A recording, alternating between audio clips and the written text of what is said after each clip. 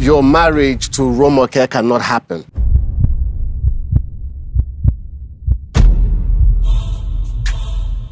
I think we should take a break. It's about Romoke, isn't it? You and I are becoming a very boring couple. We don't even talk!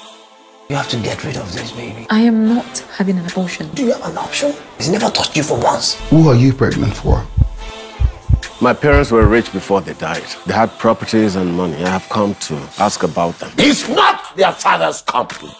You just waltz back in and expect forgiveness. I'm sorry. Sorry can't fix 17 years. 17 years. Take this gratefully, and maybe we will talk in the future. We will completely destroy you if you don't get back to us tomorrow. We will destroy you. This is what I came for. I know I walk a play more. They asked me what I change for. I ain't riding with you no more.